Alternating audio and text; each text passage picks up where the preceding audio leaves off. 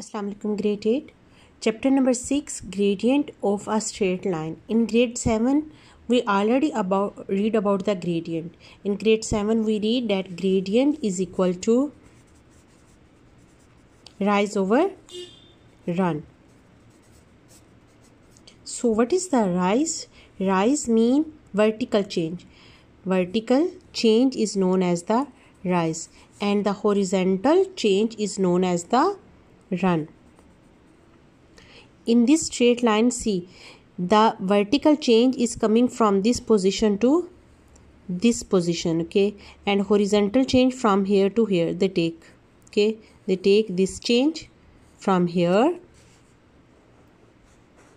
and horizontal change they take from this point to this point. So run is this and rise is this.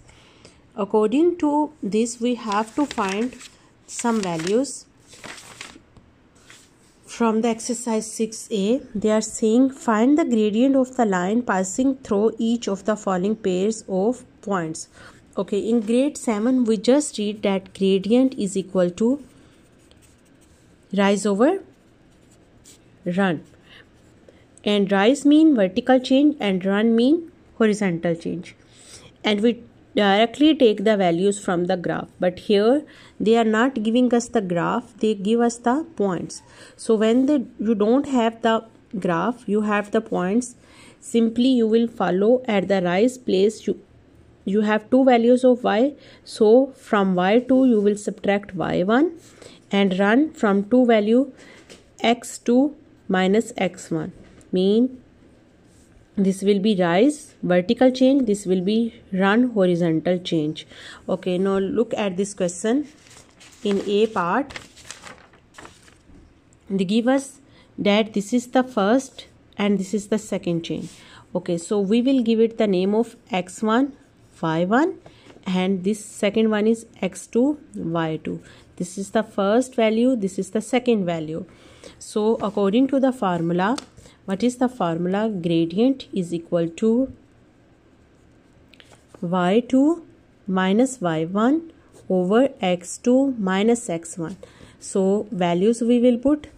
What is the value of y2 1 what is the value of y1 0 what is the value of x2 minus 2 and x1 0 so it is equal to 1 over minus 2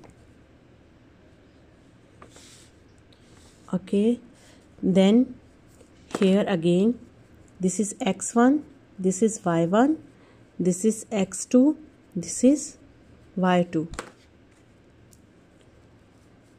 gradient is equal to y2 minus y1 over x2 minus x1 so y2 is 7, y1 is minus 3, x2 is 1 and y x uh, 1 is equal to 2. Okay. So 7 minus minus plus 3 over 1 minus 2 is equal to minus 1. So it is equal to 10 over minus 1. So you can say it is equal to minus 10 because the denominator 1 we are not writing.